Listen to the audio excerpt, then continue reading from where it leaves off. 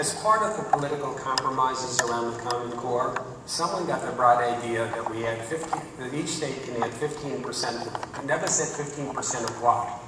Nouns, verbs, adjectives, adverbs.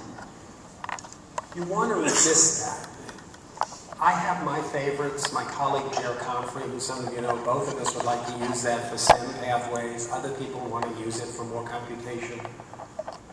It'll reignite fights, and it will make it less able to collaborate across states.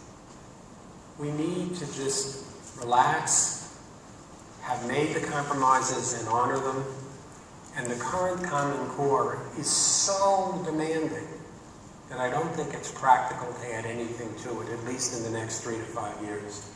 So while there are disappointments, each group, by the way, prayed that its opponents would give it a B, not an A, when they evaluated it, because everyone wanted to sign on.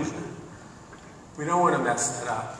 So yes, there are weaknesses. I have my favorites. Some of my good friends have a completely different set of favorites. Let's relax. Now, Singapore math. I'm a big fan of it, as it turns out.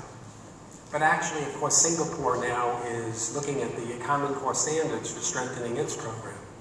And Singapore realizes that the standards were too procedural. And I was just with the minister, actually in a meeting in Finland, the Singaporean minister, and he said, the stuff we have now is good for preparing workers to work for multinational corporations, we actually need work. We can't trust the multinationals. We need to work, we need to produce entrepreneurial activity.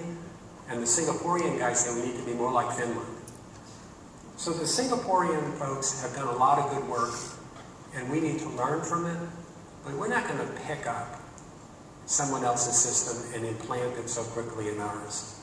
I think this thing is to start from the Common Core, to aggregate our buying power, and produce materials that are rooted in our traditions, and that reflect the Common Core as we've decided on it. We can do that.